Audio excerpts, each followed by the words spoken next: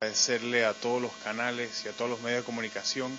que se han puesto de acuerdo para tener este debate el 17 de marzo eh, y en especial quiero agradecerle a Metcom por haber cedido la fecha del 15 de marzo para que tengamos este gran evento, esta cadena nacional, este debate el 17 de marzo. La ingeniera Balbina Herrera estará participando en el debate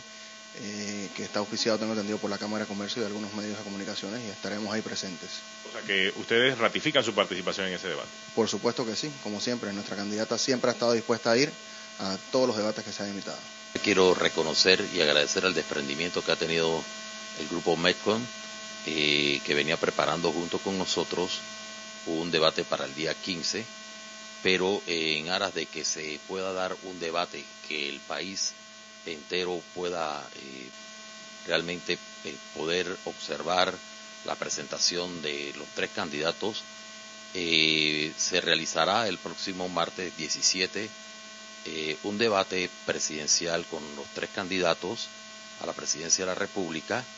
y en el cual estamos instando a todos los medios de comunicación, televisivos, escritos y radiales a que nos acompañen en esta cobertura